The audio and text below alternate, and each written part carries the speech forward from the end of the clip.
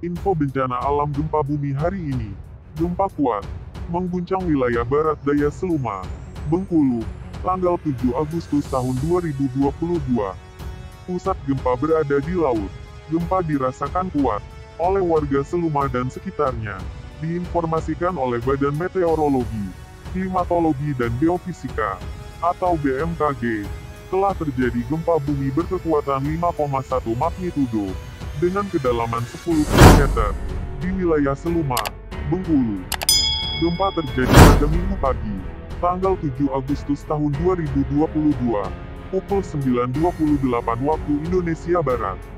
Pusat gempa berlokasi di laut, dengan koordinat gempa di lokasi pukul 4.41 Lintang Selatan, 102.09 bujur timur, atau tepatnya berada di jarak 65 km barat daya Seluma, Bengkulu.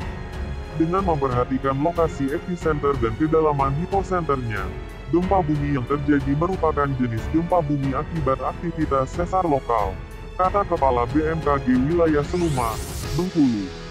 Dampak gempa bumi yang digambarkan oleh tingkat guncangan Satemap BMKG, dan berdasarkan laporan dari masyarakat, dampak gempa guncangan dirasakan dengan skala I3, I3 MMI, di wilayah kota Bengkulu, Kepahyang, dan sekitarnya.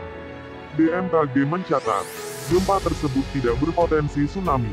Hingga berita ini diterbitkan, belum ada laporan dampak kerusakan akibat gempa yang mengguncang wilayah Seluma, Bengkulu tersebut.